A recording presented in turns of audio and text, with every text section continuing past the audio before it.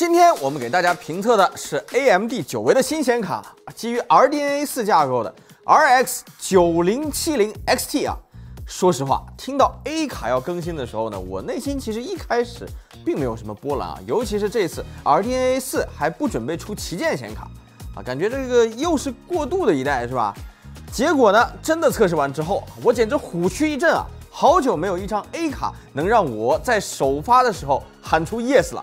尤其是老黄五十系各种涨价摆烂的当下，这张九零七零 XT 的杀伤力就更显得惊人了。它游戏性能到底有多强？功耗表现又如何？今天我们就来一探究竟。我们这次呢拿到的是来自华硕的 TUF RX 九零七零 XT。这张 TUF 九零七零 XT 呢，延续了 TUF 家族一贯的设计风格，外观设计非常硬朗啊。正面布置了三颗风扇，整张卡的体积呢被控制在了三槽。那这张卡显然是比这代五零八零和五零九零的体积小一点的，算是体积比较克制的一张卡。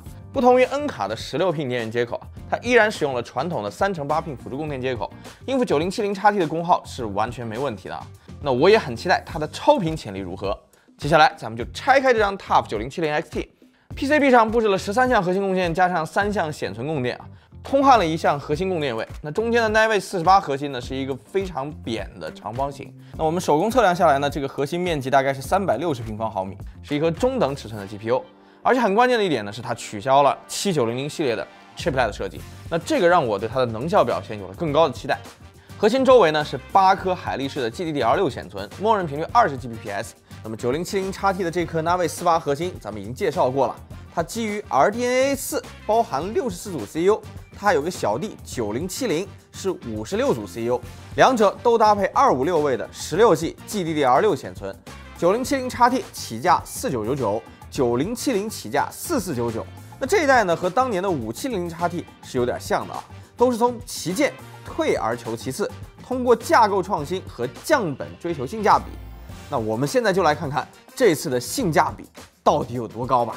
这次我们的测试平台依然沿用了九八零叉三 D CPU，搭配 ROG 的 Crosshair X 八七零 E Hero 主板和一颗 ROG 的雷神三一千二百瓦电源。毕竟测试平台可不能给显卡拖后腿。首先，咱们来看看基准测试里九零七零 XT 的表现。他们 Spy 里面呢，这个九零七零 XT 直接给了我们一个开门红啊，三万分出头的成绩，直接轻松干掉了五零七零钛，大幅领先于前代的次旗舰七九零零 XT，直追五零八零和七九零零 XT 叉。4K Time Spy Extreme 也延续了强势表现，轻松领先对手的5070两兄弟。Steel Nomad 里，它在高负载的标准测试下也干掉了5070 i 和5070，但在负载较低的 Steel Nomad Lite 里，介于两张5070兄弟之间。那值得一提的是，光追测试 Port Royal 啊，这本来绝对是对 A 卡最不利的测项，但是9070 XT 直接在这项里比7900 XT 强了百分之三十以上啊，在光追项目里直追5070 i 看来这九零七零 XT 的光追性能大有惊喜啊！那么废话不多说啊，我们赶快进入游戏环节吧。首先一上来我们就测试了经典游戏《大表哥二》，这九零七零 XT 一下子就把我们看傻了。不说超分的情况下，它以巨大的优势直接干趴了五零七零钛啊！我靠，这也太强了吧！相较于上代的七九零零 XT，在二 K 下提升了超过百分之三十，在四 K 下的提升幅度稍小一些，但依然傲视群雄。功耗上讲的话呢，九零七零 XT 基本上维持了上代七九零零 XT 的功耗，能效有进步啊，可惜还是和五十系有较大的差距。但在性价比面前，能效在桌面显卡上，我觉得已经不值一提了。有这样的蛮力在，九零七零 XT 哪怕比超分，也完全可以开更高质量的档位，来一定程度上弥补 FSR 画质上的差距，可谓是大力出奇迹啊！可惜从接下来测的吃鸡来看，它这个表现呢，并非能够一直延续下去的。九零七零 XT 在吃鸡里仅仅是略胜七九零零 XT，不管是二 K 还是四 K 分辨率，和 N 卡这边的五零七零钛还是有比较大的差距的。接下来呢，我们测了《使命召唤：黑色行动六》，那这个游戏又是 A 卡的主场了。九零七零 XT 再次以很大的优势打赢了五零七零钛，相比较于七九零零 XT 也有两位数以上的显著提升啊。在 CU 数量反而更少的情况下面，居然有如此的性能提升，这真的完全出乎意料。看来 RDNA 四架构的进步非常大。看完 N 黑游戏，再来看个 A 黑游戏吧。潜行者二这里啊，九零七零 XT 的表现就比较一般了，相较于七九零 XT 提升很有限，基本上都是个位数提升，相比五零七零钛性能也要差一些。不开超分呢，甚至差出了两位数的差距。跟前面的性能对应起来呢，还是有点落差的。接下来我们又测了艾尔登法环，哎，这个结果又有点大跌眼镜了。九零七零 XT 甚至没能打过前代的七九零零 XT，更不用说五零七零和五零七零钛了。那我们怀疑呢，现阶段的驱动还有优化的空间啊。毕竟法环呢，正常玩你可能不会解锁帧率，那这个未必是首发优先考虑的优化游戏。不过凭借着巨大的光追提升，在光追下，九零七零 XT 倒是能够追平七九零 XT 啊，这让我有点期待后面几个光追游戏的表现了。那我们再来玩一下霍格沃茨之遗啊。九零七零 XT 一下子又生龙活虎起来了，二 K 下相比七九零零 XT 性能暴增百分之二十五，四 K 下更是提升百分之二十九啊，比起五零七零钛也是强不少啊。咱们再来开个光追看看，那 A 卡呢，在霍格沃兹里面呢，目前还不支持光线重构，所以开了光追之后噪点会很严重，也就只能在 A 卡之间对比一下性能了，就不要去和 N 卡横向比较了。那和上一代的七九零 XT 比起来呢，这九零七零 XT 的光追性能简直就是飞跃啊！四 K 下光追提升了百分之三十七，这次 RTNA 四真的在光追下好好下功夫了，相当恐怖啊！接下来我们又玩了《心灵杀手二》，首先是光山化性能，九零七零 XT 继续保持超强表现，以两位数百分比大幅领先于七九零 XT 和五零七零钛。在光追性能方面，由于《心灵杀手二》里 A 卡只能开高档位光追，还是比 N 卡低一档啊。所以呢，咱们还是不太能直接对比性能的。那如果是和七九零 XT 对比的话，九零七零 XT 再次展现出了逆天级的光追提升啊，这直接暴增百分之四十五以上，简直是有点离谱了。那不过它的光追呢，还是比五零系差挺多的，毕竟你开低档光追呢，也依然差了百分之十以上。接下来就是我们永远的老朋友二零七七了。二零七七作为一款 N 卡占优的游戏啊，九零七零 XT 的光山化优势。终于没有像之前那么大了吗？但它依然稍强于五零七零钛啊，甚至四 K 下不开光追不开超分也能跑到六十帧以上了，表现还是很不错的。光追方面呢，很可惜啊，A 卡跑二零七七的光追也不支持光线重构，也没办法和 N 卡直接对比啊。但九零七零 XT 还是比七九零 XT 强了百分之四十六以上啊，这次的光追提升看起来是真的相当厉害啊。那咱们再来看一个对 A 卡比较不利的游戏《黑神话：悟空》。那这个是少数九零七零 XT 干不过五零静态的游戏。二 K 不开光追、不开超分的情况下，只能跑五十一帧。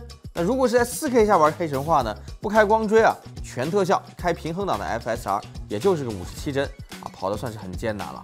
光追更不用说，受限于 OMM 的特性，N 卡跑黑神话的光追依然远强于 A 卡，差距巨大啊。但好在九零七零 XT 比起七九零零 XT 光追提升还是巨大的，那这点在黑神话里啊也是体现出来了，性能呢已经几乎翻倍了。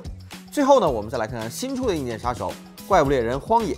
那在这里呢，九零七零 XT 表现依然不错，不开光追和超分的情况下，二 K 全特效可以跑八十六帧，四 K 勉强能跑个五十帧啊，反正比起七九零 XT 来说已经强了百分之二十二以上，相比较于五零七零钛也是更强的。开完超分之后，4K 基本上可以流畅运行。而让人惊喜的是，荒野在开了光追之后，9070 XT 的帧数居然比5070钛还要高一些啊！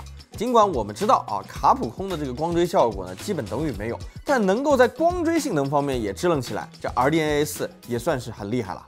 总体来看呢，9070 XT 的性能以它的价位来说，相当给力了。比起7900 XT，4K 光山化综合提升百分之十四以上。光追更是大幅提升了百分之四十六以上，相比较于五零七零钛，光山化性能综合来看也是强一些的。考虑到五十系现在逆天的价格，九零七零 XT 的实际成交价格甚至应该不比五零七零来的贵啊，更不用说天价的五零七零钛了。那这波啊，A 卡的性价比绝对是暴打老黄的五零系了。这个测完游戏呢，再来看看生产力啊。虽然买 A 卡的人一般不会奔着生产力去，但我们还是得稍微测一下看看吧。可惜呢，九零七零 XT 目前的驱动版本呢，还是有很多软件都不支持的。